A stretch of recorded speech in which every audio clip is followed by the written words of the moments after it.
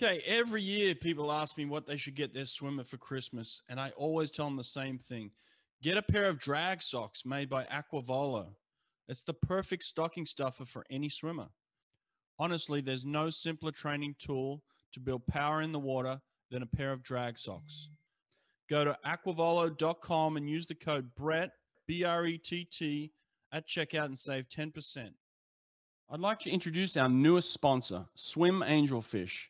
Swim Angelfish is an online certification program that strengthens your teaching curriculum to serve swimmers of all abilities.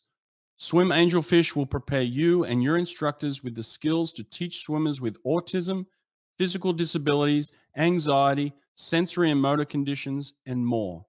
Learn to teach skills faster and with more comfort with Swim Angelfish. Apply for an Only Alpha Pool Product Scholarship and receive up to 50% off your certification. Go to swimangelfish.com today to apply.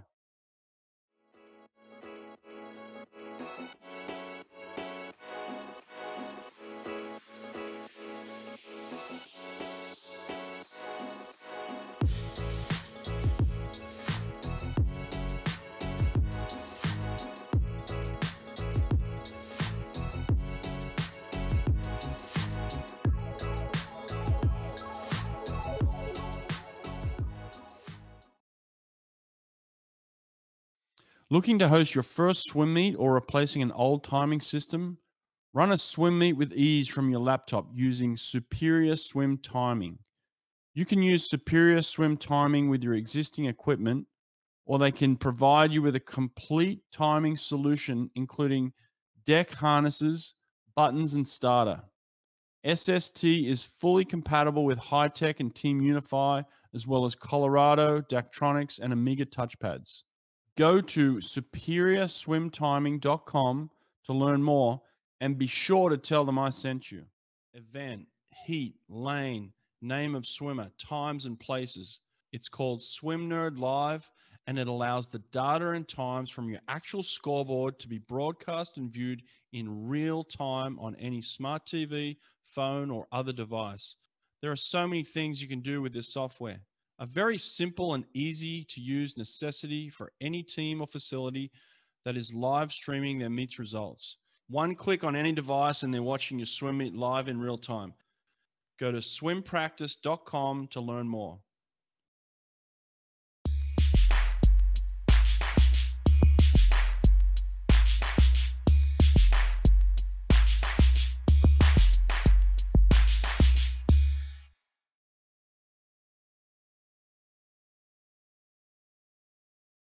And we are on. Lilly King, welcome to the podcast. How are you? I'm doing well. How are you? I'm awesome. Thanks. Appreciate it. Um, listen, what's been going on in your world? I just wanted to catch up. How you been? What's going on? Yeah, I've been good. Uh, lots of lots of traveling. Kind of never uh, took a break after after Tokyo, so I'm kind of like doing my vacations on the weekends and mm. uh, just kind of traveling a little bit, doing some clinics and and other things. So it's been good. Nice. Now, why did you decide not to take a break after Tokyo? Um, mostly because we went straight into ISL, so uh, that was kind of my main motivation. Just didn't want to be out for too long before coming back, like three weeks before um, we got started for ISL. So, uh, yeah, that's kind of kind of how it went. Now, I I've had some breaststrokers on my show recently. I had Tatiana a couple of weeks ago. I actually mm-hmm. uh, spoke to Amanda Beard yesterday, which will come out um, soon. But um, Amanda was talking to me about the importance of breaks. Like she needed breaks for the longevity of her career. You've mm-hmm. been in mm-hmm. this in this for a while now, and I'm imagine you're going to be swimming, you know, many more years. So, do you feel like breaks are needed to to help you get through the the type of training that you do? Um, I think to some extent, yes. Um, I haven't really had a, a real break in like I don't know two or three years. So, um, wow. yeah, but that's I I think that's just kind of how I operate. Um, I don't I know personally like I don't do well um not doing anything and not having a schedule. Mm. So like going even if I'm just doing singles, like going to practice is like my just my stress release. So um that's something I have kind of found in the last year or so that has worked really well for me. Awesome. Well, listen, um, congratulations on your career so far. It's been uh, ridiculously amazing. Thank you. Um, just so dominant. Uh, you kind of burst onto the scene. I felt like in, in 16, and then ended up um, winning the 100 breast at the Olympics and and kind of just shocking the world and and stating your presence. And you've been just a force since then. Uh, how have you how have you felt about your career so far? Uh, it's been pretty good, I think. Mm-hmm. Um, you know, it kind of it it came really easy in the beginning. Mm. Um, and I've kind of just been writing it from there. Um, and yeah, I've never really like stopped and analyzed like, oh yeah, my career's been awesome. Like like yeah, like you know, I've had a I've had a great career and I've had a lot of really great meets and um I feel like I'm not anywhere close to being done. So uh yeah, it's been been pretty sweet so far.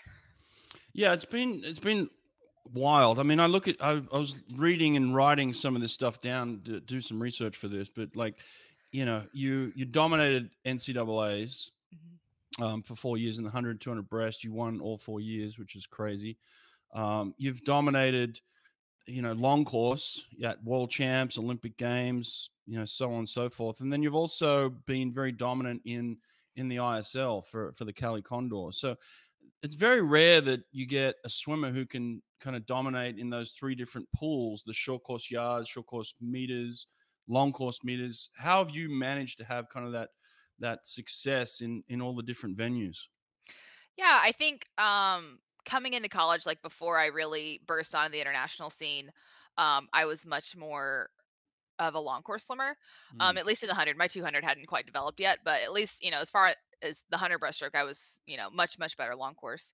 Um, and then got to college and obviously, you know, your short course skills develop pretty quickly. So, um, yeah, I think it, it just all came together at the right time. And um, I'm lucky I've been able to, to do so well in all three courses. And uh, I think short course meters is my favorite now though. Really? So, yeah. Yeah. Uh, what what's the difference then? Like obviously the there's technically there's there's things that you've got to do different. I feel. I mean, I don't know. You tell me. But in the short course, it seems rushed. Like everything's got to happen quickly. You got to be in and out of movements. Obviously, you got to hold your lines. You got to be great at, at pullouts, no doubt. But then when you transition into the long course, then you've got to really work on your length. Do you feel an awkwardness there for yourself? I feel more of an awkwardness between this transition from short course yards to, to long course. Mm-hmm. Um, short course meters not as much because there is more swimming. Um, mm-hmm. You know, when it comes down to it, you can't just be a good kick out swimmer and kick 15 meters. You actually have to have to swim a little bit more. Mm-hmm. Um, so that extra, you know, two to three strokes every 25, um, I think makes a big difference. Um, but yeah, I don't, I don't know. It's, it's one where, um, long course, you know, at first always came naturally to me, and um, I definitely train. I I would say leading up to the Olympics, I was training probably equal short course, long course. Mm-hmm. Um, but yeah, I don't. It's it's just a it's just a different transition, and um, long course, I feel like you just have to have that racing practice, where short course it may might come a little bit more naturally.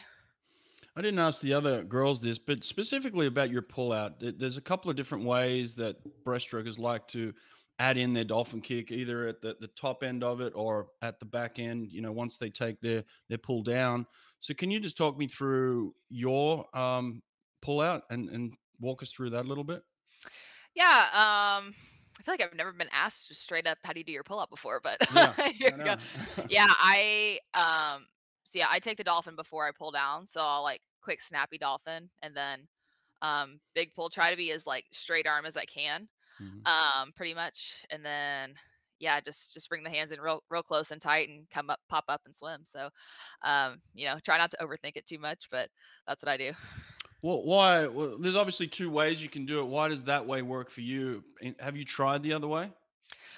Yeah, I did um, when that was the only way to do it. Um, and then as we the pull out kind of I feel like the pull out rules started to kind of transition while I was in high school. Mm-hmm. So mm-hmm. um, originally, yeah, I did pull down and do the dolphin, um, and then it turned into you could separate your hands and dolphin. So I I would streamline, separate, dolphin, pull down, and then it turned into the you could just streamline and dolphin and then pull down. So um, that's just kind of how my mine my pull out has evolved with the rules. Um, mm-hmm. So that's kind of just what I've been doing for a really long time. So that's that's what I stick to. Now, when you swim, I was pretty convinced that you look around I went to the wrong view there. Sorry. Let's go back to that view. Um, you know, I was convinced that you look around, like you feed off the energy of the people around you. I, I even felt like you were pacing yourself off off your competitors. Mm-hmm. But then the more I looked at you, the more I realized it, it felt like it was just part of your stroke, the way you kind of turn your head to the side a little bit.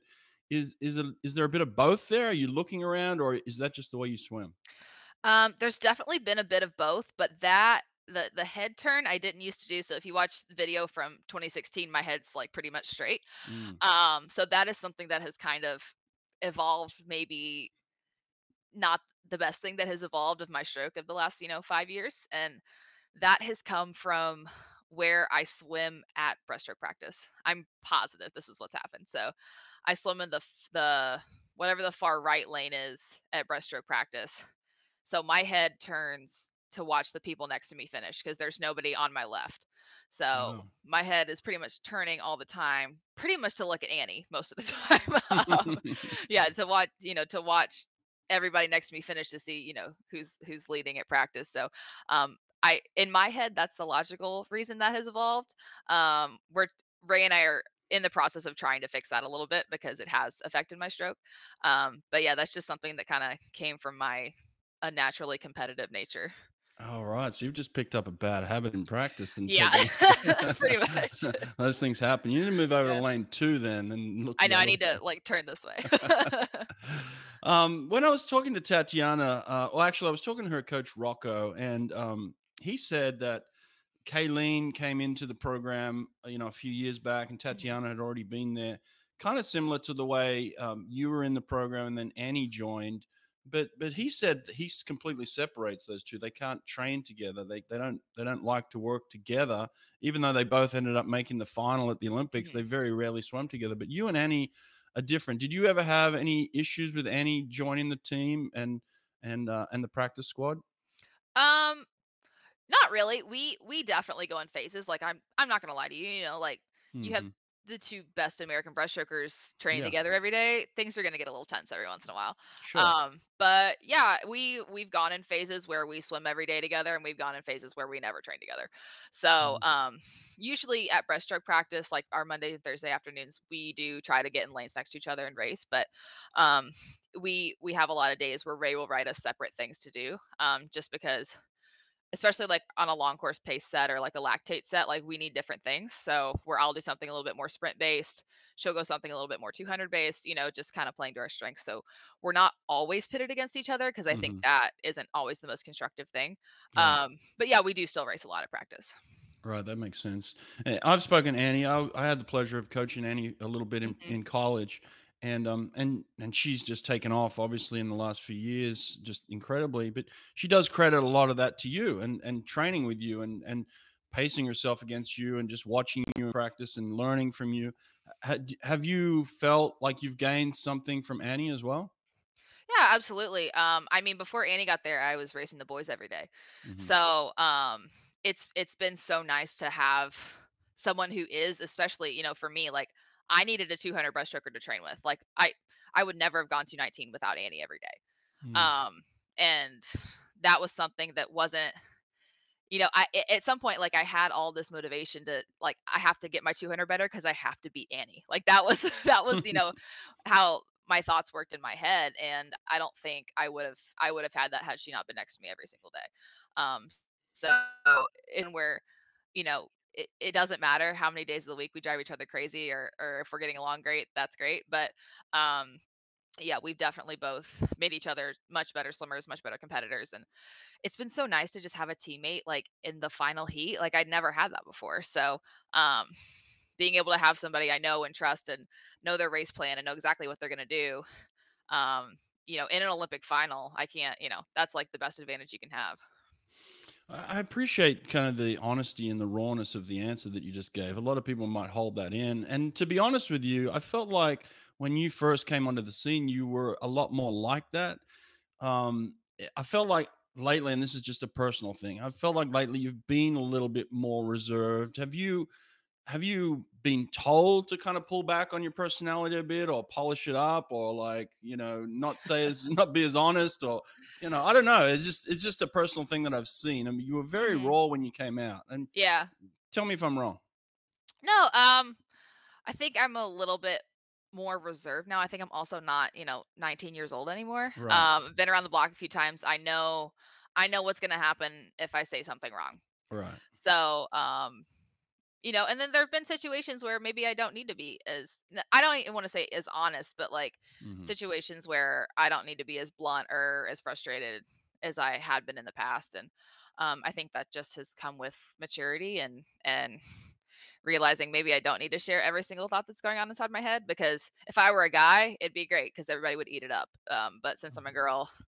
people don't like it as much. So um, I'm still like trying to be myself and trying to be outspoken and, and honest, but um, maybe not to the point where I'm going to get in trouble for it.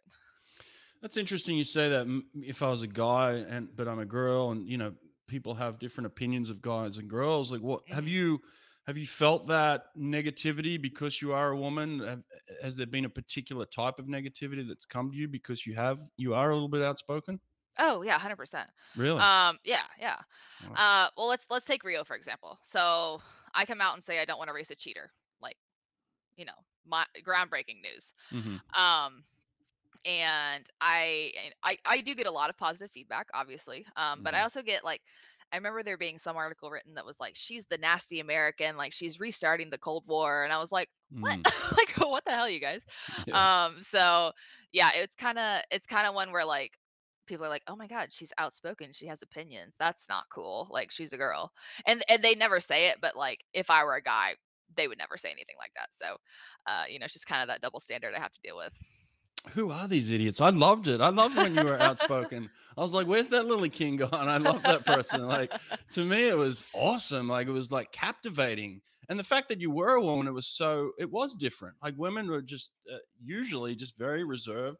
Mm-hmm. Haven't haven't seen that since kind of like a an Amy Van Dyken back in the ni- right, 96 yeah. when she would spit in other people's lanes or whatever. But it's like I felt like it was amazing. And yeah, again, and it's not a criticism. I just felt like you've toned mm-hmm. a little bit of that back, and I'm like, man, I want some of that again. You know? Yeah, I, I mean, I'm still outspoken. I'm still gonna like right. call you out if you do something wrong, but um, maybe not as.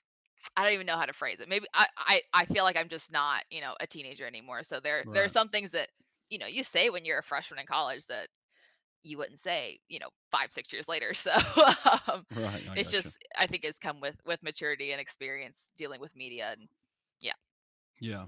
Now, listen, uh, let's talk about the Olympics a little bit. Um, you know, you didn't qualify for the 200 final in 16, and then you you end up, you know, finishing second in the 200 this time around. What was the difference between then and now? Uh, we really went all in for the 116 and I had only been 224 in 2016. Right. So, um, you know, any any other year that would not have qualified for the for the Olympic team in the 200. It just wasn't. It was just a down year, and mm. um, I just happened to be the one who who took it in the down year. So, um, yeah, I I didn't swim as well, but I mean, it's really hard to come down from your first Olympic gold um, and then go swim an event you're not as good at at your first international meet. So mm.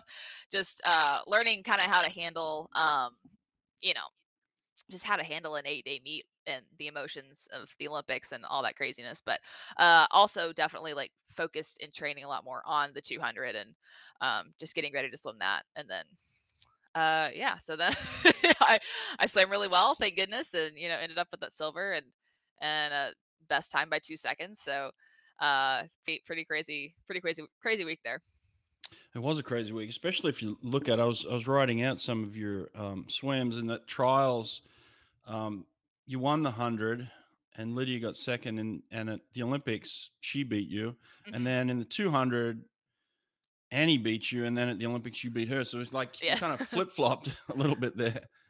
Yeah, yeah. I hadn't thought about it that way, but yeah, I guess I did. Yeah, that's that's true. yeah, it was wild. I was like, okay, that was that was interesting. As I was writing it out, it was it was wild. But I guess that goes to show that um, you know, a lot can happen in those five weeks too. Uh, you know, you you mm-hmm. can you know, someone can move forward, you can move, you know, I'm not saying you move backwards, but someone can move forward. And you did the same thing in the 200. I mean, you you mm-hmm. you swam a pretty extraordinary 200 um, in particular. What, what was the game plan there for you? Is like go out as hard as you can, or was there something else to it? Pretty much, that was it. Um, so you know, like coming off that hundred, like never in a million years would I have thought I was not going to win that race. Um, you know, it, and it just happened to not be my day. Like I, I did everything I normally do. I did everything right, and I got up and it wasn't there. So like, you know, kind of like tough shit kid. Like you got to figure it out. Yeah. Um, so at that point, I was like, all right, like I need to forget that happened and just move on because my meet's not over. I, you know, potentially have five more races. So, um, it, it's not over. Like you got to figure it out. So, um, felt pretty good in prelims. I was shocked. I was like really just hoping I made it back to semifinals, you know, based on how the 100 went. Um, and then the prelims felt good and semis hurt a little bit more. um, but uh, I didn't sleep super well the night before, so that wasn't like too shocking to me. Um, and then came back for the final and and told Ray I was like, yeah, I'm just gonna send it. Like, you know, I got nothing. To, I literally have nothing to lose, so might as well. Um, and he said, he's like, well, you say you're gonna go out all the time, but you don't actually like really go out. Like I know you can go out. um, I was like, no, today's the day I'm gonna do it. So, um, and I was like, 100% positive Tatiana was going to catch me on the last 50. Like she had been on world record pace the whole meet for everything. So um, I was just kind of trying to see what I could do there and, and, you know, ended up with the silver. So it was, it was pretty good swim. That was a, a great swim, incredible. Um, it, it's pretty fascinating to see the differences in technique between you know a lot of breaststrokers, but mm-hmm. specifically when you two are next to next to each other as well. Um, is that is that difficult as a breaststroker to uh, kind of stay focused on what you're good at and not get caught up in what someone else is doing and how they're doing it? I guess that could play with your mind a little bit, couldn't it? Um, I think it plays with other people's minds, but it doesn't really play with mine that much. Um, because I really think the strategy of racing is something that I'm really good at. Because um, I I don't really swim any, especially with the 200. I don't swim a 200 the same ever. Mm. So um, the people next to me never really know what they're gonna get. Right. Uh, so it doesn't it doesn't bother me too much because for the most part, like swimmers are pretty stupid. Like they swim the the same race every single time, so mm-hmm. it's pretty predictable what's gonna happen. Um, so I try to take advantage of that. It's funny that you talk like that because you have a very, I mean, you can tell that you're very, very competitive, like to yeah. the extreme. Yeah. Like, you know, there's there's people that are competitive, but then there are you. Like there's a small group of people like you that are just extremely competitive. Has this been something that's been throughout your life, like from from the moment you can remember? I mean, I'm like a race on recovery practice day, so yeah. Uh, but yeah, I mean, um, my my parents were both D1 athletes. My dad ran track and cross country. My mom swam, and then my brother is 11 months younger than me. So it was pretty much like every single thing in our house was a competition growing up, with the exception of like running up the stairs. That was not allowed, but everything else was fair game. Um, so whether that's cleaning your room or doing the dishes or getting your homework done or practicing the piano like every single thing was a race um, even though maybe some of it shouldn't have been a race but um, i yeah i just grew up in a in a very competitive household and that's just that's just how we were that that reminded me. I, I, I talked to Ray a few months ago, and he was telling me a story about you in in terms of your competitiveness or something. I can't remember exactly what he said now, but but I but there's something along the lines of yeah, you grew up and everything was just a competition. Yeah, uh, so what was the what was the outcome then in at home? Like was just bragging rights? Yeah, pretty much. It wasn't it was never like a big deal. It wasn't like, "Oh, you get a reward." Like, mm-hmm. okay, whatever. Like, yeah, I won. See. Um it wasn't it wasn't like anything that was super crazy. That's just that was just every day and it was normal and that's all we did. Well, you went through this period where you have been extremely dominant. And and then recently there's there's been competition of some sort. Like I I can remember a few years back, I was like, there's no one near this girl. Like, she is so far ahead of everybody else. Mm-hmm. She's so dominant. There have been some people that have come up on you. And, and then, like you said, you didn't, you were expecting to win the 100 and didn't win it. Mm-hmm. So, how, how do you have you managed to deal with people coming up and also, uh, you know, losing? Is that, that's a yeah, difficult yeah. thing to deal with. Um, it was something where I had to take my own advice um, for years and years i've told kids like they're like well what do you do if you're nervous or what do you do if you have a bad race? And i always tell the kids i'm like well what's going to happen if you have a bad race? Like who cares? Like your coach is still your coach your friends are still your friends and your parents still love you. So like what's the big deal you know?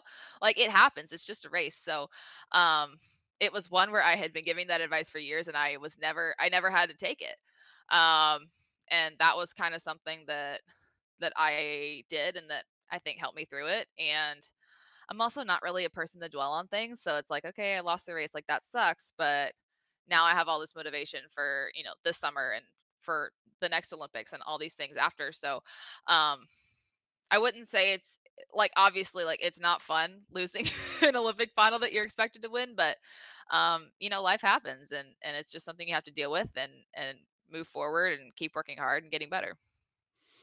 What about when you're on and thing things are clicking and and your your confidence is sky high? Like, uh, what can we learn from that? Basically, is what I'm saying. Like, you're you're a very confident person, and we want other swimmers to be confident people as well and believe in themselves. We talk about that mm-hmm. with athletes all the time. So, what can we learn from confidence? Like, how do you manifest that in yourself? Uh, how do you reinforce it when mm-hmm. you're leading into a, a, big race where you know you've got real competition around you, but you you feel like you're going to win this thing no matter yeah. what? Yeah. Um, my confidence comes from practice. One, mm-hmm. I know I've done every single thing I could at practice to prepare me for where you know whatever race it is. Mm-hmm. I know I've done everything right up until that point. Two, I trust my coaches, and three, I trust my training. Um, you know, if there's ever any point where I start doubting what Ray's giving me or what Corey's giving me, I shut those thoughts down because I'm like, you know, these people are my coaches and they they are doing everything that they can and that they think is right to prepare me for this moment. And if I start doubting it, they start doubting it and then we get in this vicious cycle of no one really being confident in what they're doing. So, um that's something I have kind of had to relearn in the past few years um, and that also just you know gives me that confidence behind the blocks because there's no doubt um, i can just kind of shut those negative thoughts out and say hey i've i've literally done everything i can to prepare and let's go. And you know, nobody nobody in the world trains like me so um why would they be able to hang with me? So that's kind of that's kind of mm. how my brain works. I love it. What about in terms of consistency and practice?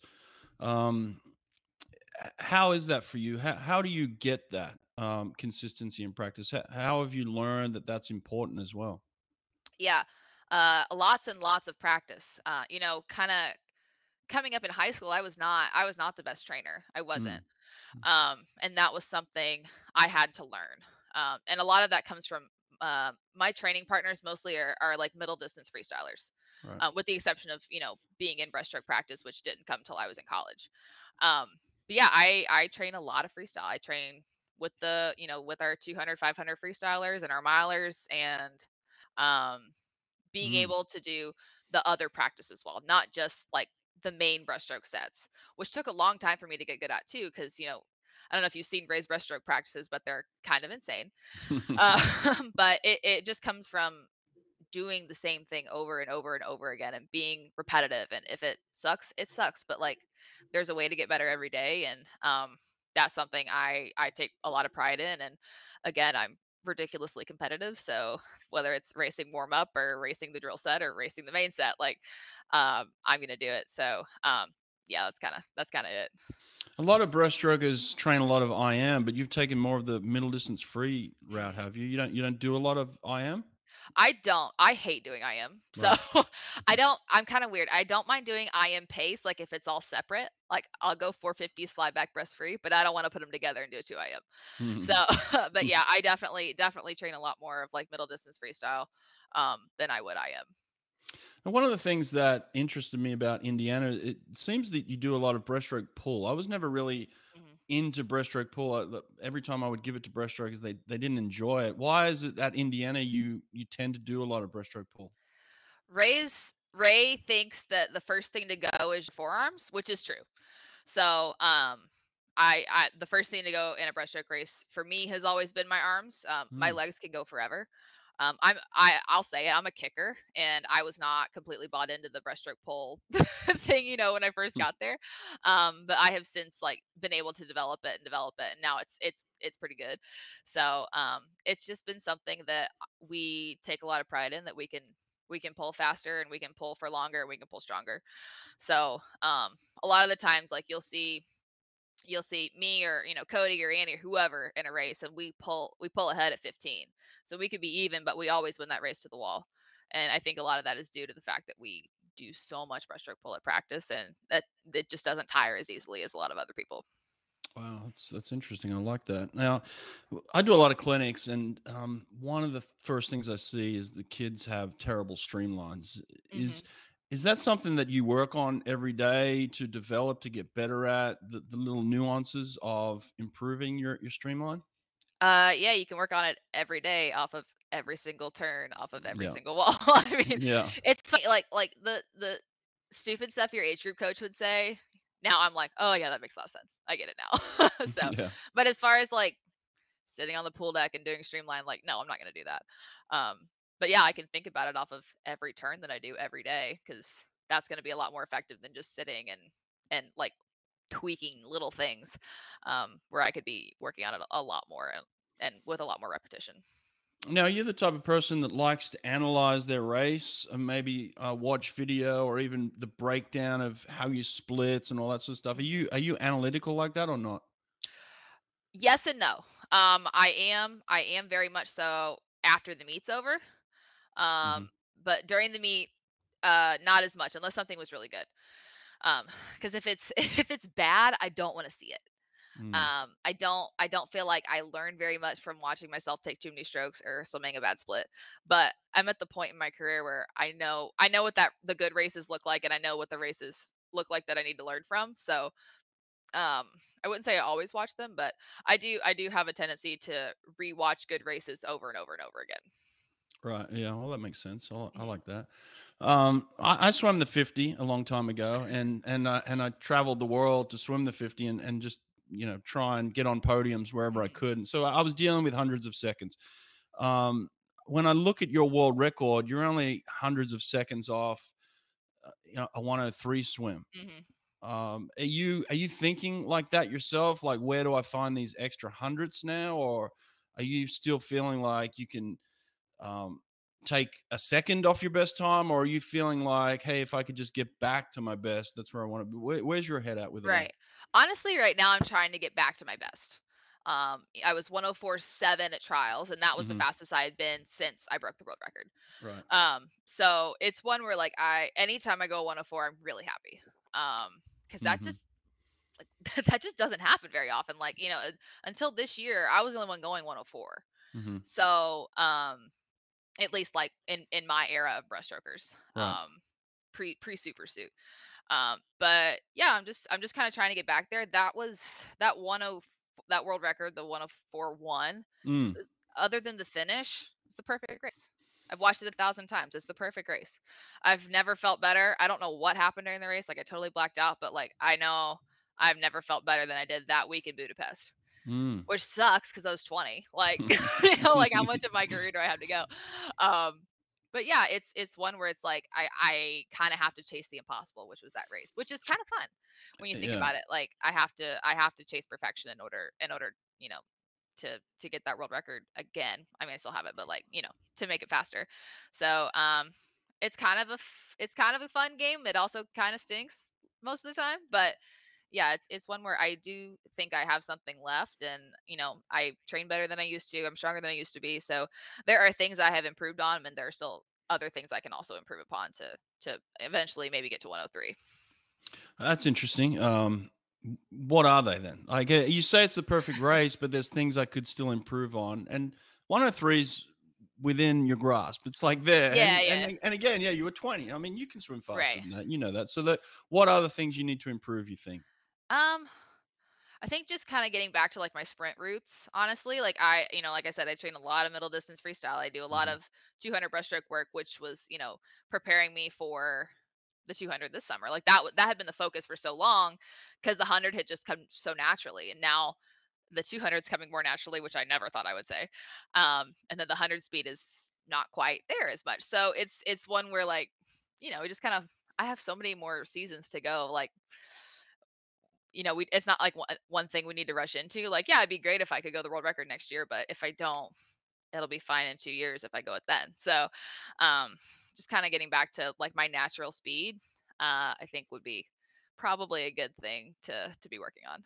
All right, so that's a message for Ray. Then you're, you're telling him you want to do more speed sets. Oh yeah, oh yeah, more speed. Give me the speed. um, I can see a sponsor on your chest there. Talk to me about some. Talk, talk to me about some of your sponsors. Uh, this is it. this is it. I was with Crocs last year. Mm-hmm. Um, mm-hmm. that contract I'm pretty sure has since ended, but mm-hmm. yeah, that was kind of like a kind of like a dream of eight year old Lilly was to be sponsored by Crocs. So uh yeah, it was fun. They they sent me like 35 pairs of Crocs that are still to this day taking over my house. So um but yeah, I've been I've been with TYR since pretty much since I graduated um from IU and uh they've been great. That's all that's all high that's the only suit I've worn since I since I got fast. That's what I like to say. So oh, wow. um yeah, so uh same suit, same company, same cap and goggles. Um uh, I think I'm a pretty easy easy person to work with for TYR. I hope so. Um, but yeah, they've been they've been great with me. Do they give you a chance to work in the development side of any suits? Um, they'll have us like test them out. Um, but like again, I've been wearing the same suit since 2016, so um, I I kind of like to just stick with the Avictor. Um, okay. but yeah, you know, if if they do have a another suit coming out soon that they want me to test out, I'll do it. I love the uh, I love the the American flag version that you guys had at the Olympics. Yeah. that was super cool. Yeah, they were wild, right? Yeah, incredible. I loved it. But um what else was I going to say here? Uh what about uh World Short Course Championships? Are you going to that this year? I am not going. Um I'm sticking with with ISL for most for November and December and uh um yeah, I'm going to skip that one.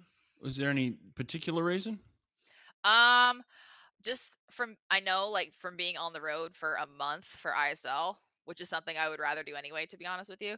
Um, and then coming back for Golden Goggles, and then going back out for Short Course Worlds, like mm.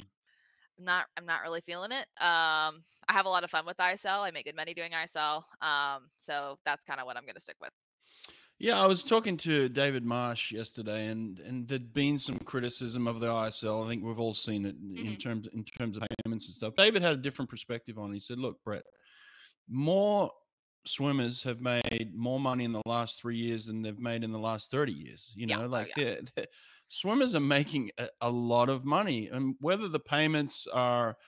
you know in a, in a particular time frame or not they're still getting paid they're still making the mm-hmm. money and and the isl are, are, paying out a lot of cash so there's a lot of positivity that really is coming out of this whole isl scenario right yeah uh, absolutely and, and you know luckily enough i'm not in the situation where i'm like i need that cash right now like mm. um and i'm you know very grateful to be in that scenario but um yeah like there's so much good coming from it like do you think you know like let's let's take like Beata Nelson and and Coleman, mm-hmm. like for example, like would they be swimming if there wasn't wasn't ISL? Like maybe, probably not. Like they wouldn't be making enough to live on, and yeah, um, if they did continue to swim, and like look at what good has come for those two people from ISL.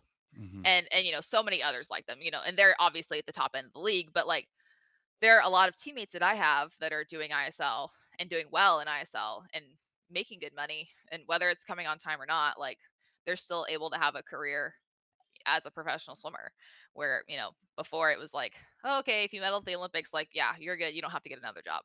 So um yeah, yeah i i really only see only see good coming from it do you and thanks for saying that i, I agree in that sense and, and again i've been critical because i've got swimmers who I know need the money as well, you know, and and the, and some of them have been sitting and waiting, and I'm like, these people need money, so I've I've been vocal about it, but you know, it, it's easy to be critical, but you've got to have that perspective as well of looking at, at what it's done for swimming. It mm-hmm. really has kept many many athletes in the game for sure. When when it comes to money is that a factor for you? Um obviously if you're passing up world short course there's a chance to make a ton mm-hmm. of money. So it seems like money isn't everything when it comes to your career. No not at all. Um and that that's something ray and i have thought about because he's he's like very money oriented and i do not care. Um, so yeah, I grew up with like two teacher parents, so I know that I don't need money to be happy, and I don't need money to like, you know, mm. to like feel accomplished. So, um, yeah, it's not, it's never really been like a, oh no, I'm missing out on making blah blah blah blah blah. Like I don't really care.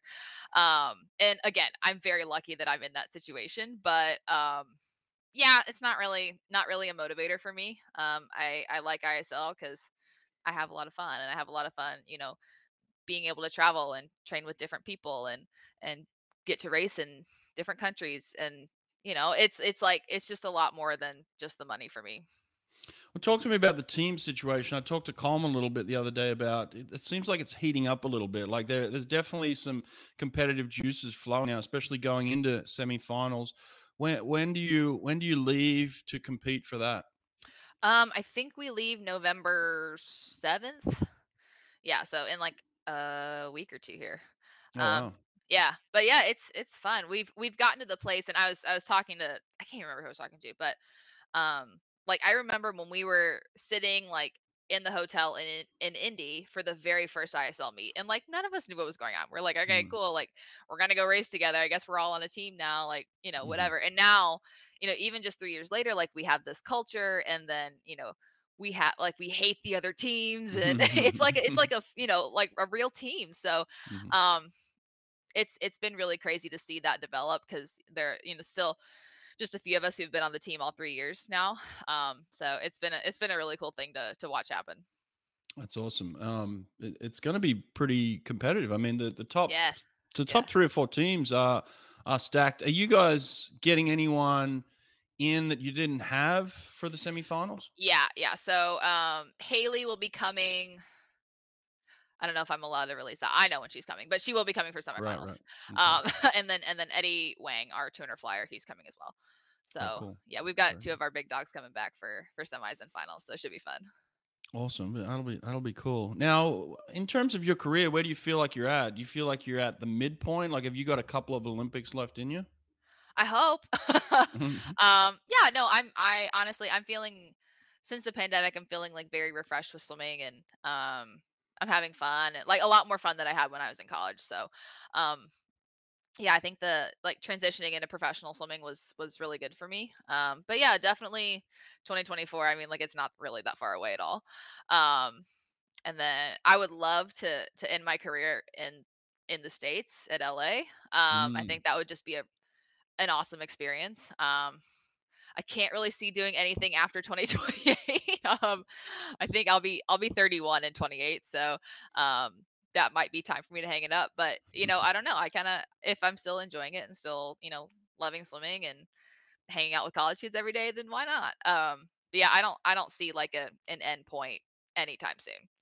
Nice. I love that. Um, tell me this then. Let's end on this. What what gets the best out of you? How do you get the best out of Lilly King in terms of when when you really perform at your best in a competition, not so much just in practice, but at a hmm competition? How do we get the best out of you? What does it take? Um, the most stressful scenario possible. Really? Yeah. So anytime, um, like Rio or like World Championships in 17, anytime that stress is up, up, up, I'm on. Wow. So when people aren't expecting me to do something, that's when I go. Um, maybe I can't. I'm trying to think of like an NCAA scenario for you, but like, um, okay, so f- like for example, so my sophomore year at NCAA's, I swam the hundred, didn't swim as well as I wanted to. I was really pissed off the whole day. Um, I don't know what happened. I just woke up on the wrong side of the bed, and, like didn't want to swim that day, uh, which happens every once in a while, you know. Um, kind of came back for the 200 the next day, and it was it was me versus Kierra Smith, Mm, and she had won um, two years before, redshirted when I was a freshman, and then I won that year, and then it was kind of like that head to head battle, and everybody was kind of expecting me to lose after the 100 the day before. You know, I, I still won, but like didn't swim as well as I wanted to. Um, and that was kind of a scenario where I was just I was just like pissed off enough mm, and and felt that I still was somewhat of an underdog in that heat that I I took off and like had a really great swim. So um yeah, anytime it's like a really stressful situation, um, whether that be on at, you know at an NCAA level or you know at the Olympics, whatever, that's usually when you see me at my best. And see, the problem with that is once you expose yourself, once you once you once you tell people that, especially a coach like Ray, who's who's very very good. So once you tell him what what gets you going, he's gonna then kind of manufacture. Has he has he ever tried to manufacture anything like that? Oh come yeah. up? Yeah, Yeah. all the time. And he'd do it, it like for stupid things. Like he'd try to do it for like a dual meet. And I was like, "Ray, like I don't care. We're at a dual meet." Um but yeah, he he'll try to. He'll try to like dial it up on me, but yeah. it usually doesn't work. I usually have to do it myself. Yeah, that makes sense. That makes sense. Well, listen, I've I've really enjoyed this. Thanks for doing this. Uh, I know you're between workouts. You got to get some rest. So Appreciate the chat today and the catch up. Um, good luck in the semifinals. Uh, a lot of people will be watching, and um, and just good luck in the lead up to Paris as well. Okay, well, hopefully we'll get to chat again. Yeah, absolutely. Thank you. All right, thanks, Lilly. Bye.